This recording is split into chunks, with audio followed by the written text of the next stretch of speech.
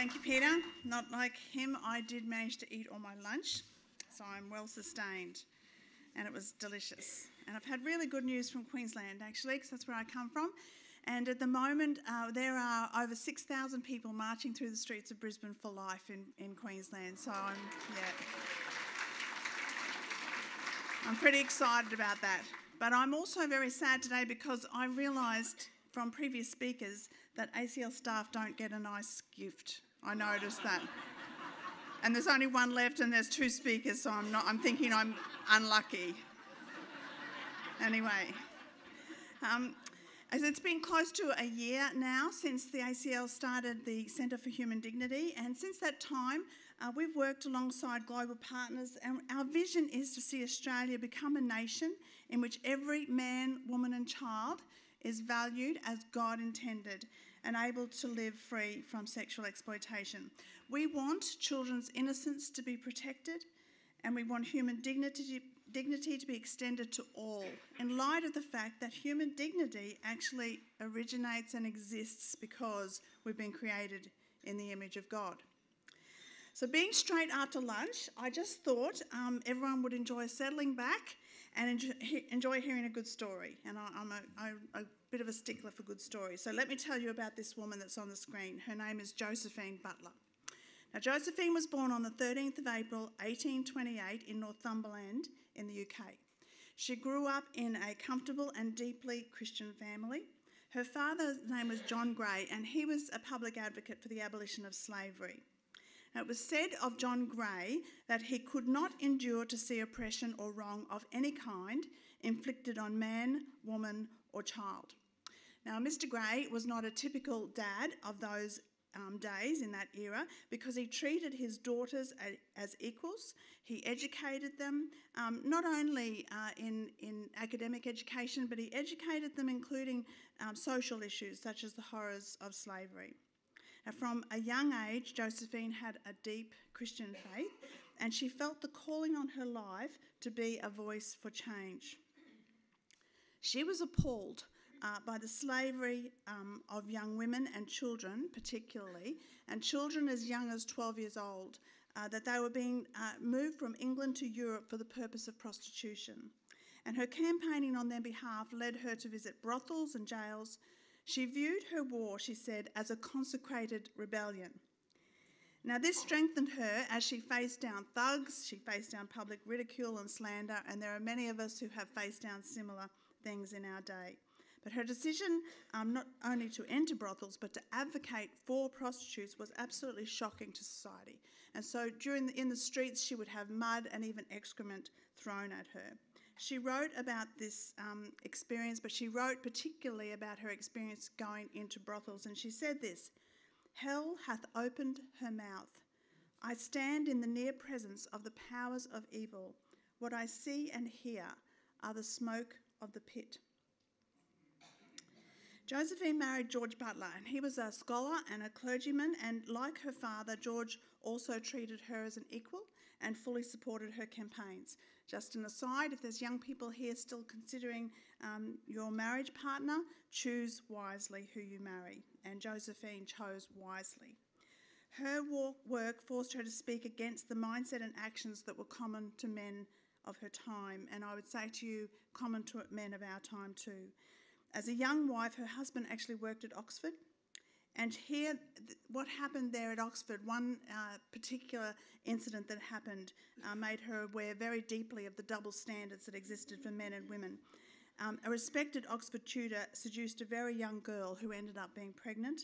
She was left destitute and in a desperate situation, and because of that, she actually killed her newborn and she was put in jail. Now, Josephine was enraged with the tutor because he was an older man with power, connections, and authority, and he had taken advantage of a young girl. And not only that, uh, whilst the, the girl's crime was undeniable and Josephine did not defend her crime, but Josephine was angered that the girl was punished while the man who created the situation retained public respect and he faced no consequences.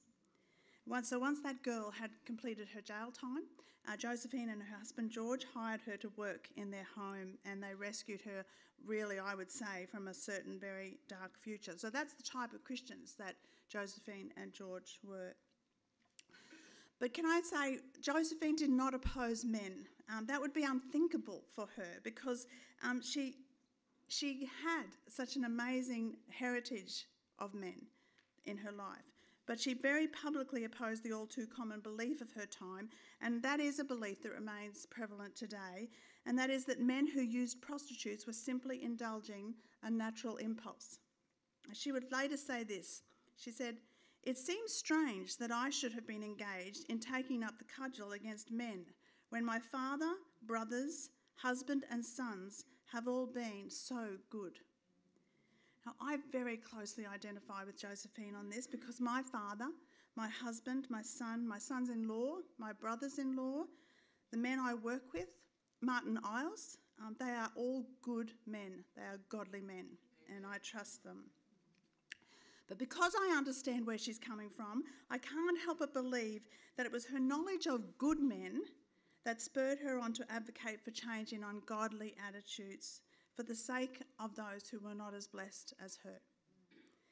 But it was not Josephine's father and it wasn't Josephine's husband or son that had the most impact on her, rather, it was another man. And that man has had the most impact on me as well. And the man I refer to, of course, is Jesus himself. In, in the tender and respectful way um, that Jesus added, acted towards women, and that includes prostitutes, we see a vastly different way to view womanhood and redemption than we see in the world, in Josephine's world and in our world. Josephine Butler's influence was vast. She successfully changed parts of the Prostitution Act of her day, and she was also responsible for raising the age of consent to 16, which was a huge problem for the young girls who were taken in prostitution of the day. Josephine also helped set up an organisation. Um, she and I, I, love this because I've helped set up the Centre for Human Dignity, and I find this woman just so so um, engaging. She helped to set up an organisation to lobby government against the legislative system of their day, which they believed that this organisation believed that the legislative system of her day officially sanctioned a double standard of sexual morality, whilst it justified male sexual access to prostitutes, at the same time, it penalised women for engaging in the act of prostitution. So on the 31st of December 1869, the Ladies National Association, that was her organisation, they published a statement in the Daily News that it had been formed for the purposes of obtaining the repeal of certain parts of these laws, and they called them obnoxious laws. Now, among the 124 signatories on that um, statement uh, that was published was the social reformer Florence Nightingale. Isn't that just so beautiful? Josephine died on the 30th of December 1906, and she had accomplished so much with her life, but not many people know her name. Um, but there is still, can I say to you now, there is still so much work to be done. And a new generation of advocates have risen up to take up the cause. And here in Western Australia, you have an Adopt Nordic group that have taken up the cause that Josephine was fighting so long ago. We heard earlier today from ACL's Western Australian State Director, and he's been leading us through the whole day. And Peter spoke of the Nordic model of prostitution legislation, which we believe best supports human dignity. And we will continue to advocate for this legislation in Western Australia, but also in every Australian state. South Australia are currently examining their prostitution laws, and we're running a parliament in their panel just in a few weeks' time. Christopher Brohier, our um, state our state person over there in South Australia is organising that. And uh, can I say to you, South Australia is actually considering um, currently a really wild west form of legislation to legalise prostitution, which in reality will actually legalise abuse. So, why does someone like um, Peter Abetz care about those trapped in prostitution? And why do I? And why should you? Um, why is it a major issue for the Centre for Human Dignity? And it's simply because Jesus cared. And because, like Josephine Butler, I had a home where I was loved and protected and guided, that's why I care too. And because my husband is faithful and good. And God cares for every man, woman, and child because we are created in his image. And so we need to care. Now, the prevalence of pornography in our um, in our culture is another big issue that I just want to tackle. Uh, and it is linked. This is another big issue that the Centre for Human Dignity is fighting against. And actually, there are, I would say, there are three issues that are um, inextricably linked in the areas of, of exploitation, and they are prostitution, trafficking, and pornography. Pornography is perhaps closer to home to most Australians than prostitution and trafficking, and particularly in our church communities. And as I approach this issue, I, I want um, this afternoon for you to allow me to speak truth and to do it in love, as Jesus instructed us to do, because in a room of this size, there is very little doubt in my mind that many of you will have been personally affected in some way by pornography. Pornography is actually changing human beings and it is changing our society, and we cannot afford to ignore it because in reality, we are all affected by it. The prevalence of pornography in our culture and the diabolical damage it leaves in its wake is why ACL's research director, Dr. Elizabeth Taylor, who you've heard from just before, brilliant, thank you so much, Elizabeth. She undertook an extensive research project on behalf of the Centre for Human Dignity. Uh, you may have seen or picked up a copy outside already. We have copies of the report here today. I do commend it to you uh, for your information but it is primarily directed towards members of parliament as we seek to shift the cultural norms around the acceptance of pornography. We want to do this in the same way that cultural thinking changed around smoking, for instance. I grew up going to school in a bus where you couldn't see the front of the bus from the back of the bus because everybody smoked in the bus. And it was something that was seen as something completely normal. When smoking was recognised as harmful to our health, our government acted. And so we need our government to act on pornography. There's many ways that they can. I'm not going to go into all of them today, but stay in touch with the centre and you'll see which, which ways we're pushing the government to do this and also how you can help. Because even more than our government needing to take a stand, I would say to you today, lovingly, the children of God need to make a stand on this and call it for what it is because it is an abomination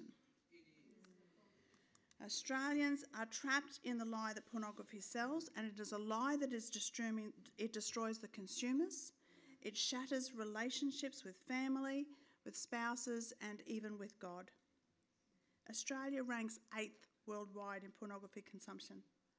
Pornography, and these aren't statistics that I've taken off some Christian website. These, this is very solid research. Pornography accounts for more than 35% of all internet downloads. 70% of Australian men view pornography either regularly or sporadically, and devastatingly, the widely, the widely accepted percentage of men in churches who are viewing pornography is 60%. Can I clarify though that it's not just men, it is also women who are viewing pornography, but the vast majority of all pornography is of men exploiting women. So whether it's men or women watching it, that is what that is what pornography is about. How absolutely opposite to Jesus' behaviour to women? And how can we possibly entertain a behaviour that grieves the heart of God? And I would ask the question, and I ask it of myself as well as all of you here can we truly claim to love God if we indulge in this type of behaviour? It's incredibly serious. Perhaps most serious of all for our children. Never before have we brought up a generation where hardcore pornography is accessible 24 7. A 2015 Telstra report showed that the average age of first smartphone ownership is now 12. So it's the average um, ownership of a smartphone. And I know that that's true in my own family. We have 10 grandchildren, and a number of them are 15, 14, 12. They do have a smartphone because they go on the bus to school. The report showed that even 10 year olds spend an average of around 15 hours every week on their phones, now, this is back in 2015. By the age of 17, this rises to an average of 26 and a half hours a week. With pornography readily acceptable, uh, readily available via our smartphones, there is absolutely no question, and I don't think anyone actually questions it, that this generation has more access to pornography than anyone in human history ever. 67% of pornography viewing happens on a smartphone. In only three years between 2008 and 2011, as the smartphone actually became available, the percentage of children under the age of 13 exposed to pornography jumped from 14% to 49%. There was a recent news report um, in Queensland where I live, and it focused on the and what are called an unprecedented number of boys of 11 and 12 years old calling Australia's helpline, um, the counselling service that we have, the helpline for kids, asking for help. And they were calling because they were worried they had become addicted to pornography. They are 11 and 12 years old. So then it should not surprise us that the Australian Bureau of Statistics figures relating to sexual offences committed by school aged children quadrupled from 430 in 2007 to 1,709 in 2011. And again, we're talking seven year old statistics. The average age of first exposure to pornography is now seen to be 11 years old, and this is often by accident. And this is where our government can actually come in. But back in 2007, there was a study by internet security company McAfee. We all know their name, so they're um, very credible. They revealed that there was a 1 in 14 chance of a child typing in a misspelled URL and stumbling upon a porn site by accident. Can you imagine what it is now that's over a decade later from that statistic? But let's be clear clicking on something exploitative might be an accident by the user, and particularly a child but it's a carefully planned marketing move by industry that preys on the vulnerable because there is huge financial incentive for getting users hooked on this content. Pornography is an industry. It's an industry that is based on the exploitation of girls and women worldwide, and it's a very lucrative industry, currently worth an estimated $100 billion globally. And if I put that into perspective, that's more revenue than Microsoft on the screen is a graph which depicts the annual revenue statistics for pornography, Microsoft, Google, Netflix, eBay, and Yahoo. And if you look carefully, you can see that the revenue from pornography is about twice the combined revenue of Google, eBay, Yahoo, and Netflix. In the past few years, Australia, um, in Australia, we have devoted significant resources to changing attitudes towards domestic violence, but the numbers are not going down. Some alarming statistics are on the screen right now. And in Queensland, where I live, the director of the Gold Coast Centre Against Sexual Violence, her name is Di McLeod. She's not a somebody of faith, but she's a, a really strong woman fighting for the rights of, of um, children and women in domestic violence. And she points the finger of blame for the increase in domestic violence directly at pornography. In the past five years, her centre alone has experienced a 56% increase in referrals from their hospital emergency department. And she has said that our domestic violence crisis is being driven by abusers who are consumed by pornography, which depicts the harmful behaviours being acted out. Viewing dehumanising content not only normalises dominance and abuse, but it diabolically connects that abuse to acts of love and intimacy. It is impossible to actually escape the facts.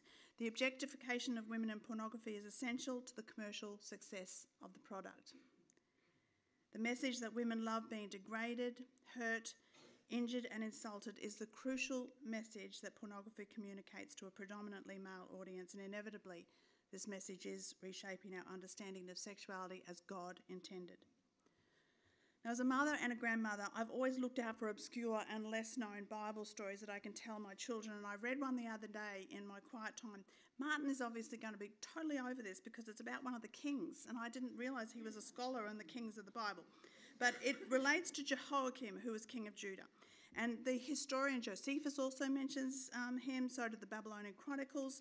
Um, the rabbinical literature describes him, in, and it's in the British Museum. They describe him as a godless tyrant who committed atrocious sins and crimes. So, Jehoiakim, the particular story I want to retell as I draw to a close today happened in the ninth month, which is great because we're on the first pinch and a punch for the first of the month, you know, the ninth month. Our God had dictated a message to his people with the express purpose that they would turn from their evil ways and in doing so find his forgiveness. When the people heard this message from God, um, they wept and wailed. They tore their clothing and they said to each other, and this is in the Bible, it says, We must report these words to the king. It's a picture of what we've been trying to say today. This is what we all need to be doing. We need to be reporting what God says to the king or our prime minister or our premier, whoever it is. I love the way the story is described in the book of Jeremiah, and this is what I uh, love to do with my grandchildren because we're told that King Jehoiakim was sitting in his winter house with a fire burning before him in a fire pot. And in comes Jehudi with the with Jehudi, Jehudi, Martyn, Jehudi? I'll say Jehudi. He will be Jehudi and we will call him Jehudi. When you meet him in heaven, please don't tell him I called him Jehudi because it might not be the right word. So Jehudi reads out the scroll to the king, and as he does, the king takes the scroll, tears off bits, and throws them into the fire. Um, and we're told that the king, as opposed to his people, showed no fear at what God said, but he rather then sent his people, advisors, to arrest Jeremiah and his scribe who had written the scroll. But it tells us in the Bible that God had hidden them. I think that's the best game of hide and seek that you could ever imagine. Can you imagine God hiding you? No one will ever find you if God hides you. So I think that's pretty. My my grandchildren were pretty amazed that God played hide and seek. Um, so none of us are probably book burners, and we wouldn't burn God's word to us. But like King Jehoiakim, we too can easily disregard God's word, and we can even treat it with disdain or take it lightly. And I believe that what we do, we do to our peril. So, what does God's word say to us about the things I've just mentioned? Well, I'm just going to read them straight through because they speak for themselves. God will judge the sexually immoral and adulterous. Perhaps very most powerfully is Jesus' words You've heard it said, You shall not commit adultery, but I say to you that everyone who looks at a woman lustfully has already committed adultery with her in his heart. I have people say to me, Well, it's just looking at an image. I say, No, Jesus actually said that this is adultery. I have people say to me, Well, I've been able to cut it down. I'm only watching pornography once a month now. And I say, So you're only committing adultery once a month and you think that's okay? Jesus didn't think it was okay. This is the will of God, your sanctification. What is God's intention for humanity? Oh, I how do we cope in the sexually impure world that we inhabit? We go again back to God's word. And God says in his word, For freedom Christ has set us free. Stand firm, therefore. Job says, I made a covenant with my eyes not to look lustfully at a young woman. Flee. Submit. Flee.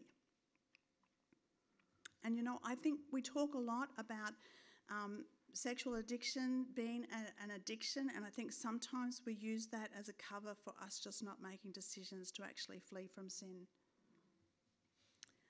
The Bible also says this it says, A man without self control is like a city broken into and left without walls.